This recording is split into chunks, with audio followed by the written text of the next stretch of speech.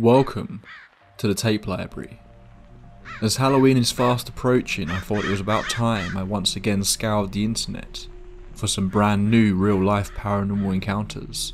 The following stories are all featured here, with the original witness's permission. All encounters are read in their own words. Before we get started, I'm curious. Have you ever experienced something that you think may have been paranormal? You don't have to go into details if you don't want to. A simple yes or no will do. But I'm curious how many people in my audience have actually experienced something for themselves. Drop me a comment below and let me know either way. Okay, once you've done that, it's time to get started. Get yourself a warm drink, dim the lights, and get comfortable. It's time to delve into our first case of the evening.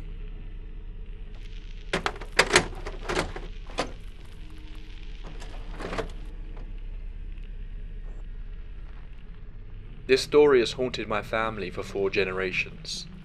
I visited my great grandparents frequently as a small boy.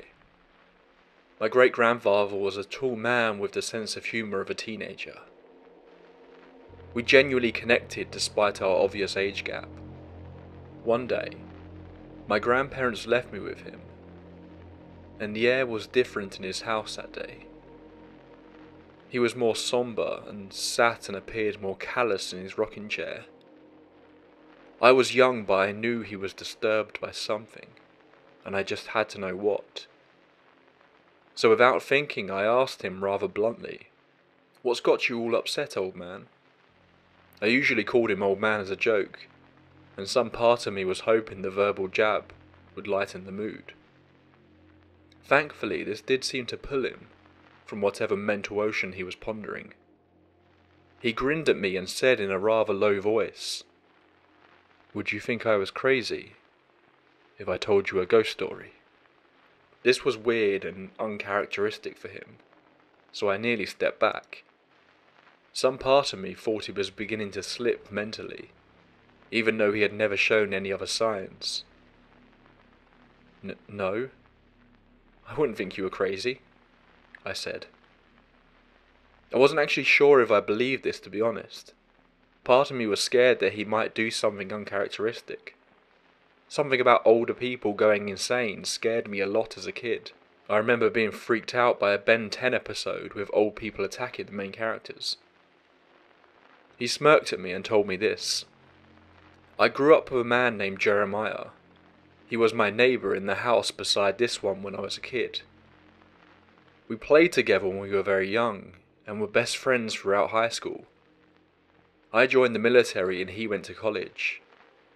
However, when I finally came home after being stationed in Japan for six years, we reconnected.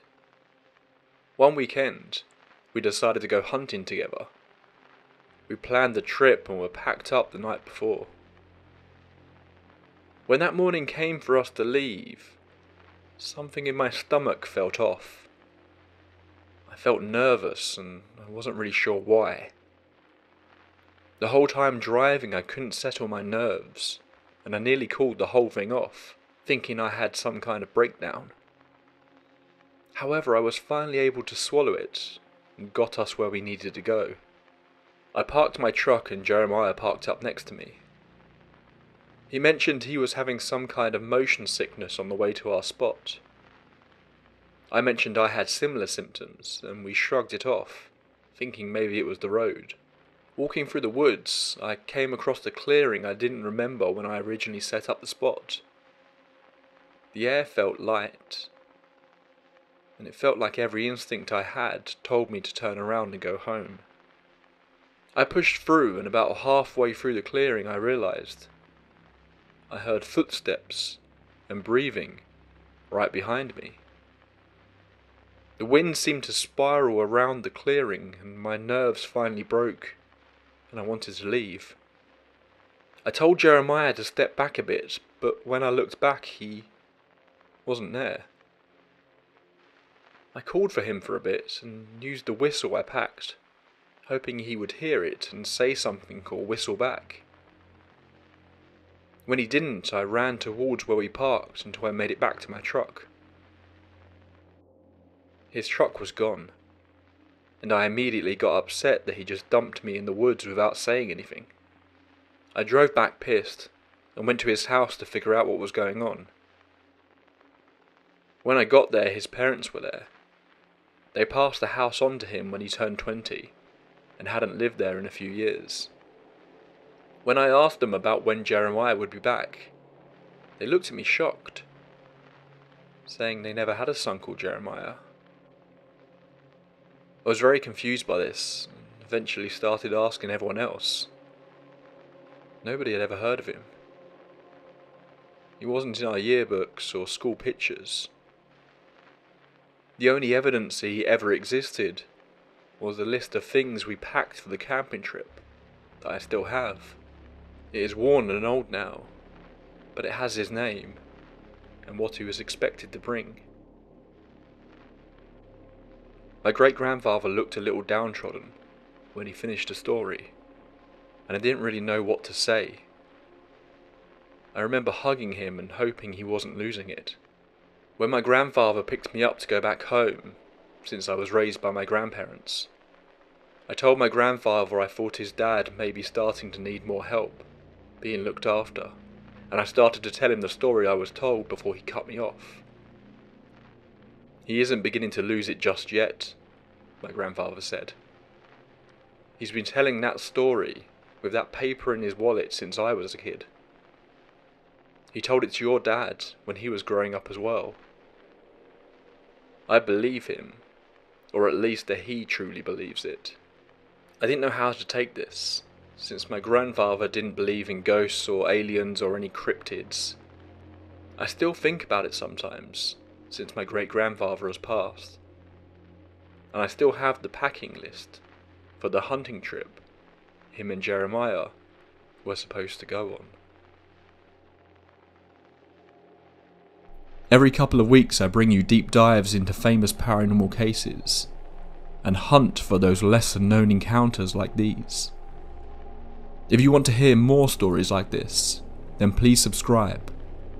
Also, clicking like on the video is a really easy way to support the channel.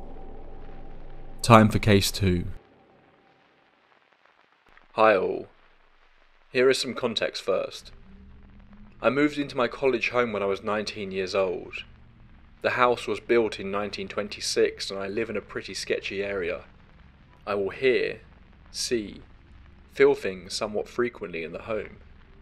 It's an old house. I will normally just say aloud that this is my home.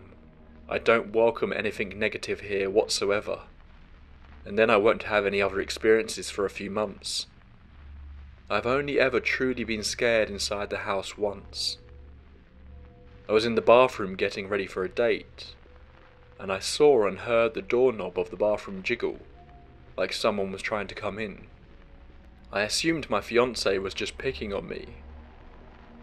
I opened the door and he wasn't there. He was in his office playing on the computer. I've told my fiance multiple times about seeing and hearing things. I very frequently get that feeling on the back of my neck like someone is in the room with me when I'm alone, or that I'm being watched. He always just laughs and never believes me. Until this morning. We were both upstairs in bed.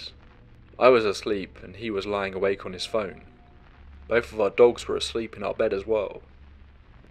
There was a loud thud at about 3:30 a.m., maybe just before. It woke me and the dogs up. One of our dogs barked once and the second was growling. My fiance immediately jumped up, looked out of the window, didn't see anything. He stepped out of the room and then came back in, grabbed his gun, and told me to call the cops. The look on his face when he came back in the room told me everything I needed to know. Somebody was in our house. I called the cops, and we both armed ourselves and we stayed on the line with the operator. He insists he heard and felt someone walking around downstairs.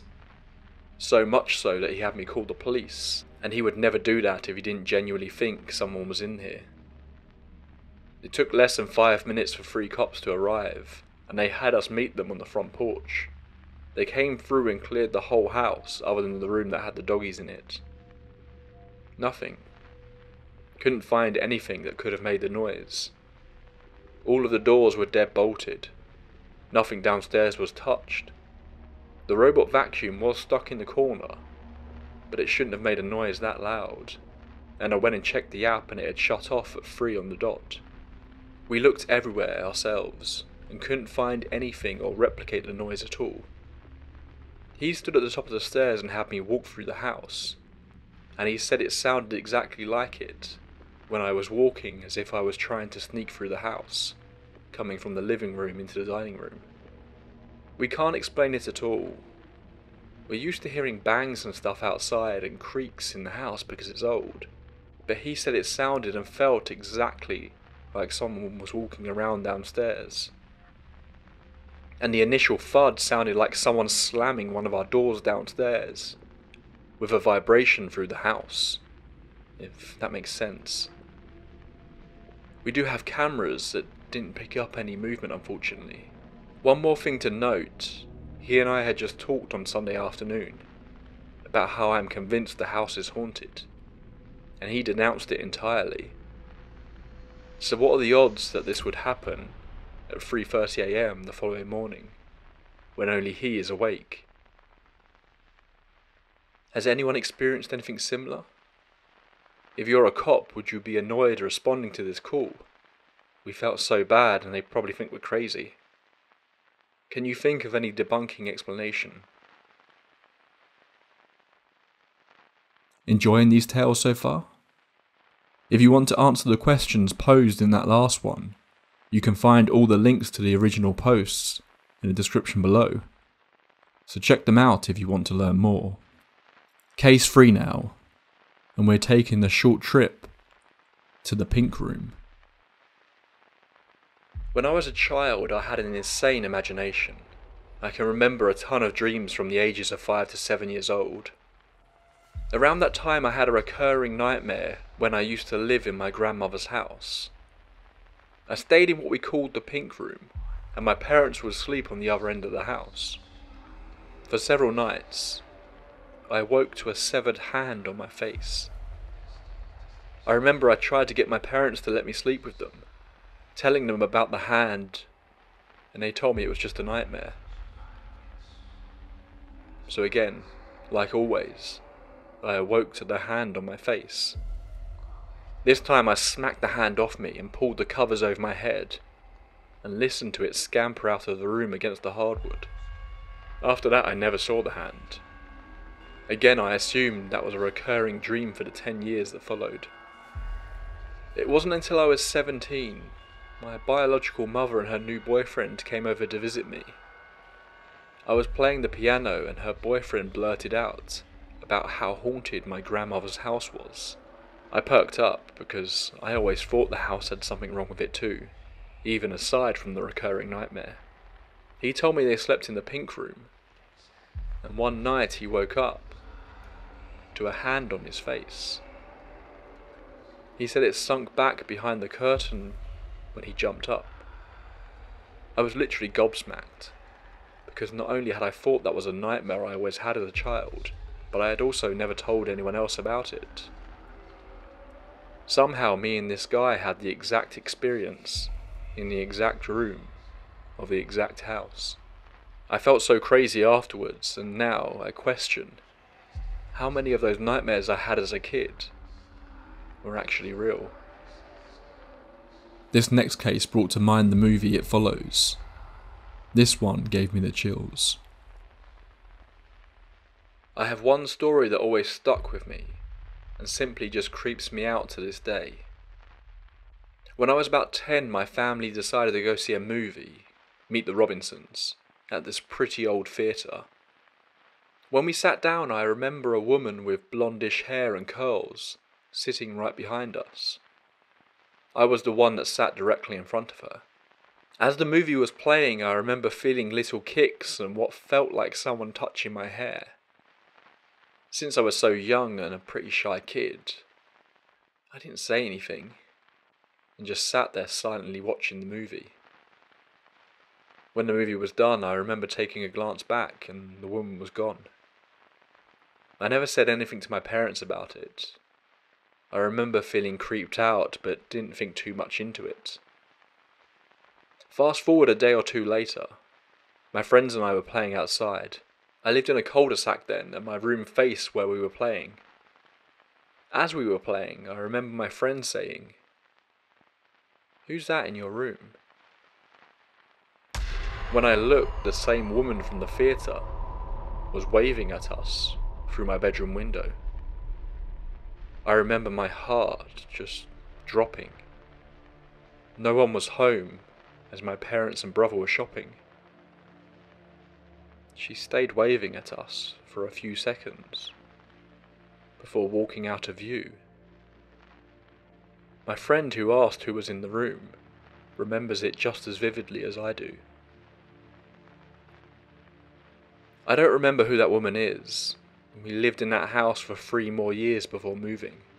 During that time, the same stuff, like feeling I was being kicked or my hair being played with, happened while I was sleeping some nights.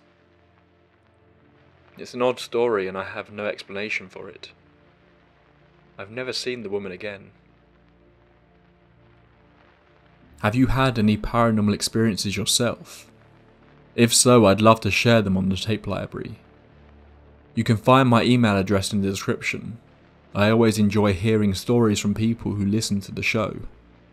Our last two cases come from people who have experienced multiple incidents across many years of their lives. Let's get into the first one, shall we? A few years ago now, we moved out of the home all the upcoming events I'll be talking about happened in. I really don't have a solid explanation for any of them, even after years of debating how they could have happened. And not all of these stories are from my perspective. Some of my other family members and a friend contribute to these experiences. Also, me and my family are very religious and believe in a God and spirits. I don't know if us being superstitious could have affected our take on what's happened in front of our eyes, but to me, they very much did happen. Anyway, rewinding years back to our old house where all this happened, I'll start with what I have experienced. I'm honestly still terrified by this first experience, and I remember how it felt in the moment it happened. Me and my sister shared a room in that old home, and we had a bunk bed. She had the top bunk and I had the bottom bunk. I was sitting on my bed, I think, reading or on my phone. I don't remember, but I was preoccupied. No one else was in the room with me, and I wasn't really paying attention to any of the background noises like the heater or the TV in the distant living room. The door was also shut, so really any other noises would have been drowned out. Clear as day though, I remember hearing breathing coming from the top bunk. No one else was in the room. Extra noises wouldn't have been that clear. It sounded like an old man, heavy breathing right above me in that same room. I was terrified. I remember holding my breath and still hearing it. It was creepy and I wasn't staying. I literally booked it out of my room. To this day, I don't know who it could have been but it sure as hell wasn't me or my family. I'm related to a man breathing above me, but I was also confronted with something else. In my parents' room, I remember sitting on their bed doing homework or something like that. It was just me again, but I swear to God, I saw my great grandma, who had recently passed away at the time, standing in the room with me. I could also feel a strong presence of something as soon as I saw a glimpse of her. It was such a strong feeling that tears came into my eyes. I never felt such a strong presence feeling since then, if that's how you describe it. But it felt so real. My last experience I remember is just seeing a shadow figure in the corner of my eyes it easily could have been shadows playing tricks on me, but I just remember distinct humanoid figures in the corner of my vision, looking the way I saw them and then seeing nothing. Going to my family stories now, I haven't asked them much about it, but my sister has some. Once her and a friend of ours was over. We were in the basement watching TV, and I told them I was going to go upstairs to get something. I didn't come down for a while, so they decided to come up and make popcorn while I waited. They did that and then started heading back down. As they were leaving to the steps, they saw me down the hall, walking from my room to our parents' room. No big deal. But the thing is, I wasn't up there. I was downstairs. I came downstairs just after they came up to get popcorn, and I was waiting for them. No one else was home. Two people saw this other person walk from room to room, but it wasn't me, and it wasn't anyone else. I still don't know who it could have been, but I hate it. I hate how we couldn't think of an explanation and still can't. My sister experienced other slight things, like ringing in the ears while she was in my parents' room, where I swore I felt the presence of somebody and saw my grandmother. Maybe some shadow figures, but outside of that, nothing else. Again, this could all have such an obvious, realistic explanation. But there's one detail that just makes it all feel so wrong, you know? Just chilling. That house we lived in for 10 years had a secret literally none of us knew about until a year before we moved out. My mum was at one of our neighbourhood's Halloween parties when she learned this. A neighbour told her that years ago, some man had killed himself in our home. The other neighbours tried shutting her up, so I feel like she wasn't making it up. Some secret the neighbourhood didn't want other people knowing for good reason. We have no idea what room or how he killed himself. But after my mum shared that with us, after we moved out, I haven't viewed that house the same since. I'm just hoping someone has a similar experience or a better explanation than a haunting, but I honestly can't put it down to anything else. Again, me and my family are Catholic, but I don't want to be that one crazy lady and point to everything being ghosts. Anyone have an idea? Maybe tricks being played by shadows for years? Or maybe squeaking pipes that made us hear those other noises? It just all feels so wrong, not right. But I know I'll never be revisiting that home. We have one final submission for tonight. This person actually reached out a year ago with a whole host of encounters that took place in their childhood home. They recently got back in touch with a bunch more stories their parents had from this time. Interestingly, the events take place across two different homes the family lived in. I will try and track down the original stories and include the link in the description if you want to go back. All these stories are 100% true. They take place in two different locations. The only thing that has been changed are names as well as some dates for privacy reasons. However, before I tell any of my stories, I would like to try and give everyone a mental image of this house. Again, it was originally an old church, but had been remodelled into a house. The only thing that remained of the church was the wooden floor in the den of the house. This house was basically a big rectangle. On one end you had my parents' bedroom, on the other you had mine and Mark's bedroom. In between you had two rooms, the den and the living room. Now, in the den, there was a little hallway that led into the laundry room. And in the living room, there was a doorway that led to the kitchen. Last thing, I promise. I was far too young to remember any of these. So these are all my parents' stories. Now then, let's begin. The first story takes place over 20 years ago, back whenever I was only a newborn. My mum was lying in one of our recliners, and I was on her chest. As she was laying there, she suddenly felt something very, very heavy start pushing her downwards into the recliner, making it so she couldn't breathe. My dad at the time was at work, so she was the only one home. My mum, being a woman of religion, began in her head to call out to God, begging for him to protect me. As soon as she did, it stopped. She then quickly got up and took me and left the house. During the next few years, a few small things happened. Those being like my mum and dad both hearing choir music, as well as loud, heavy boot footsteps coming from outside their bedroom.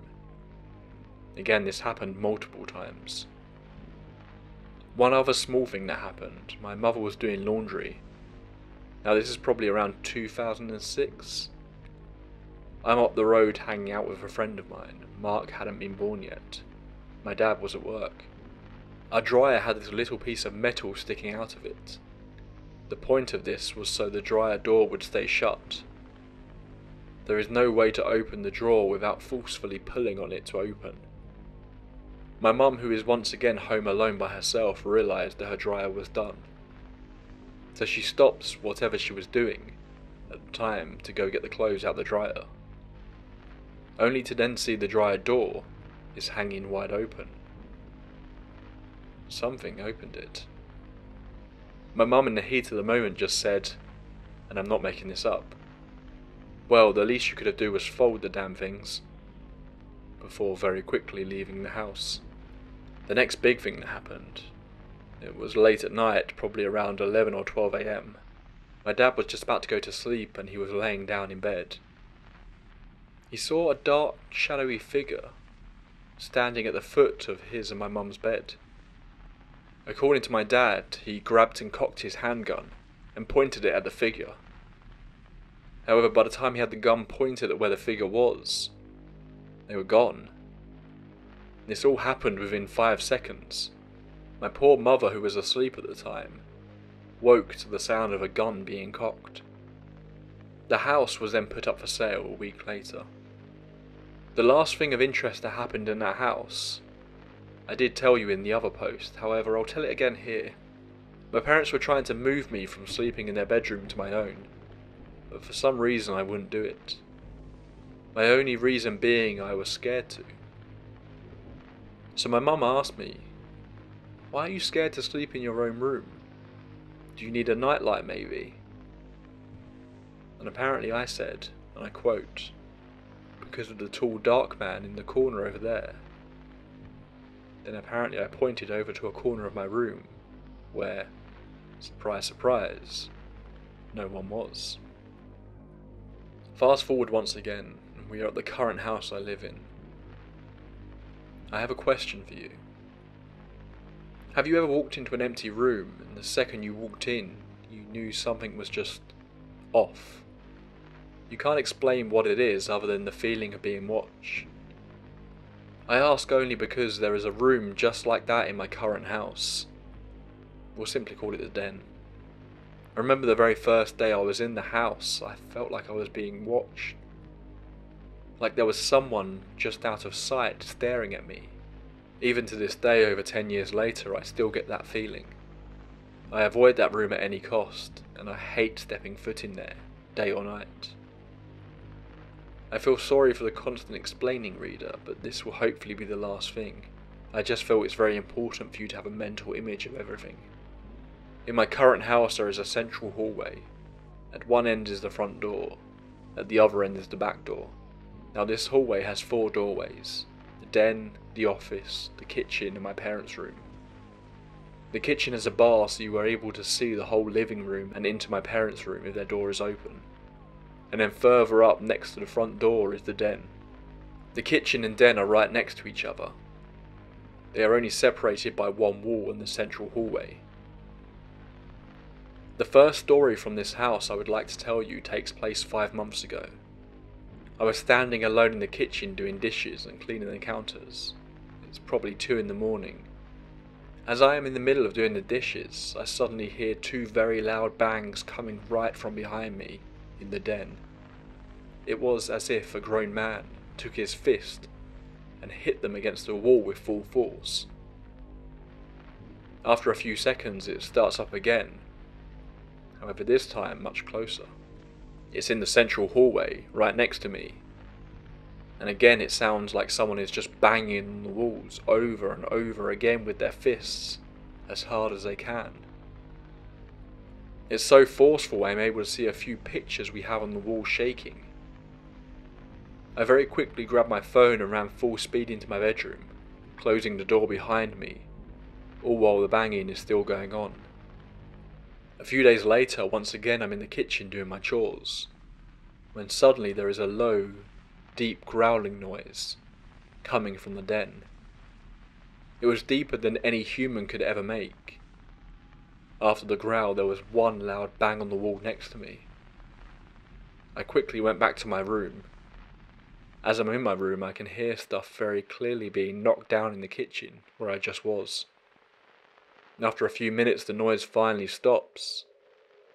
A few minutes later, I step out of my room and look towards the kitchen, where I saw two pans laying on the kitchen floor, as well as multiple kitchen drawers having been opened that were previously shut, as well as the pantry door which was previously open, now shut.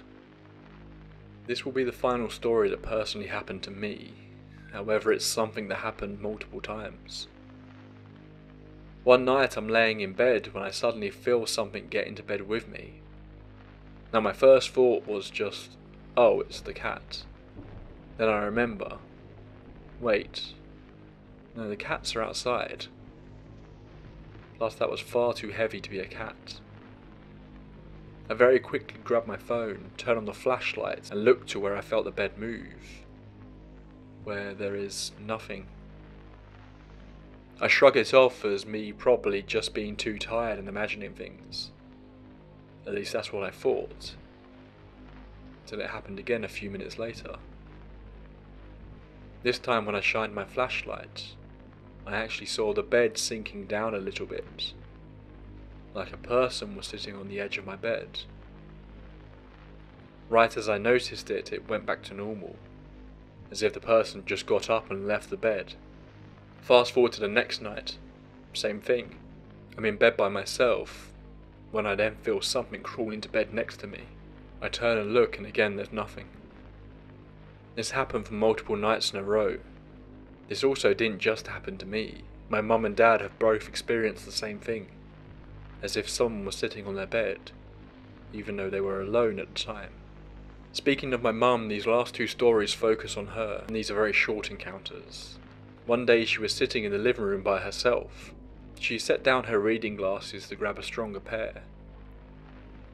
As she was in the middle of putting on her new glasses, the ones she just set down on the table go flying across the living room. She described it like someone swatted them off the table and across the living room. The last story takes place almost a year ago. My mom came home from work late one night. Everyone was asleep and she heard a female voice come from and Mark's bathroom. The voice just said, Hello? She stopped. She said hello back and asked who was in there. When there was no reply, she turned on the bathroom light to find there was no one in there.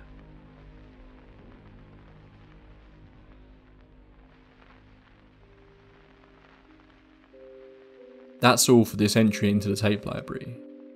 All being well, I should be back a little sooner than usual with our next entry. So I hope that we can spend Halloween evening together. Until then, pleasant dreams.